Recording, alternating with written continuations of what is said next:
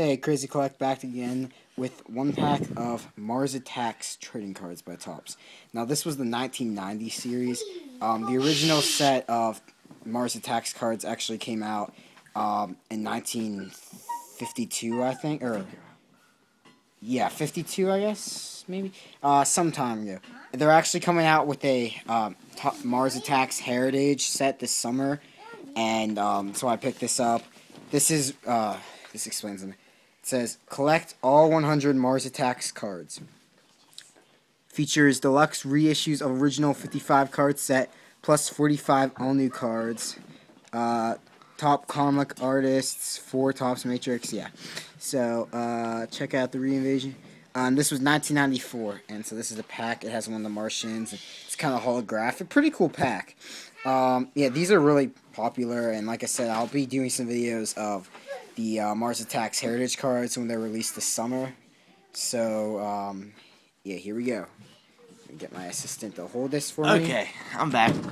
That's Z-Man. He'll he'll be assisting me I'll with some it. of these videos. Sorry, sorry. Okay. Wait, it's okay. Oh, what the heck? It... Sorry, more background noise again. Oh my gosh, what the heck? This is super weird. That's why it's called Mars Attacks. No, it's not that. It's the cards were stuck. oh. Okay. well, Mars glued them. Oh, these Martians, I tell you. not sure what this is. This is an insert. Oh, this is all about Norm Saunders. Oh, that's cool. Alright, so here. Destroy the city. Horror in Paris.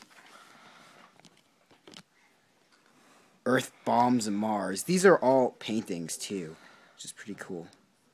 Last Licks. Slaughter in the Suburbs. Oh boy. Um, oh, it looks like these are two like special newer cards.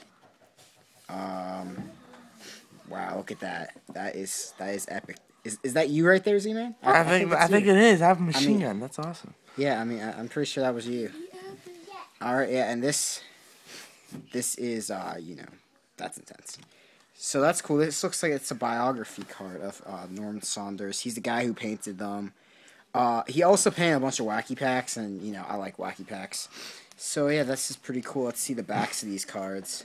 Got a nice little holographic part to the, some of them. Um, not sure why there's different colors, but I'll figure that out.